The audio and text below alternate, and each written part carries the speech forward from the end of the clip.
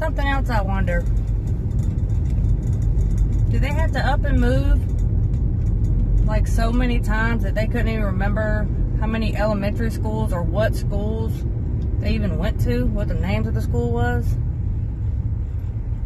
I remember being said, oh, well, you can make new friends. And I'm thinking, elementary school, I'm thinking, well, by the time I get to learn anybody's names, I'm gone. No, we wasn't a military family. No, we just had a man that couldn't stay faithful and would get caught at work screwing around and get fired. Or that, flunk a drug test.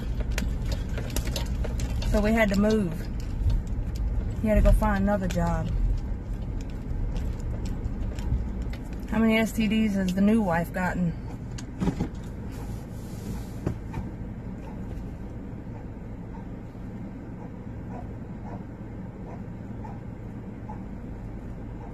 Hmm. Pathetic, huh?